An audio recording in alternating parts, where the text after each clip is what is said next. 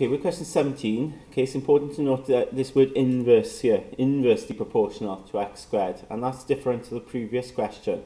Okay, so in the previous question, as one thing grew, so the other thing grew as well, okay? But in this case, when they're inversely proportional, when, for instance, x squared grows, y will actually fall, right? So in other words, when x squared increases, y will actually decrease and vice versa. Okay, so that's the inversely proportional.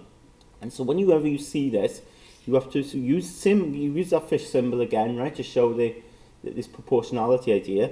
But when you see inverse, you always got to write as 1 over x squared. Okay, you do like the reciprocal of it, right? And it's important you do that.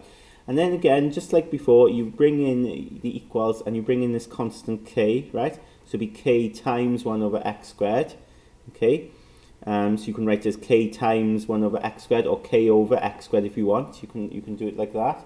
And then they give you information here. They say, okay, well, y is 3, x is 2. So let's work that out. y is 3, um, x is 2. So put x is 2 in there. So it'll be 2 squared, which is 4. Okay. So just chuck the numbers in there and I've squared it. Squared x to get 4. Take then the 4 up to get k. So k is equal to 12 all right and then so much room here isn't it? So then I'll write my answer then. Got to write your final answer. K then is 12 over x squared okay? And then we're going to use this answer then to part A to get part B out okay?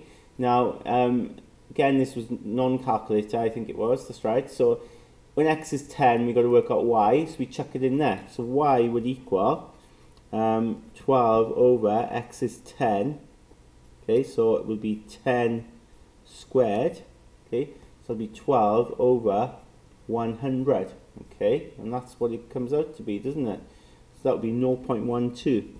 Okay, um, and you could see there, look, as x gets bigger, y gets smaller, doesn't it? Because when x is 2, y is 3, x is 10, y gets, you know, x has got bigger, isn't it? So y's got smaller.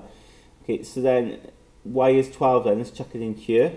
So y is 12. So back to this one, so 12 equals 12 over x squared. Um, take the x squared up. Okay, so then x squared will equal 12 divided by 12, which is equal to 1. So that means x is equal to 1, isn't it? If x squared is 1, square root it, so you get 1 there. Okay, so again, then x has got really small, y's got big, right? It's that inverse idea.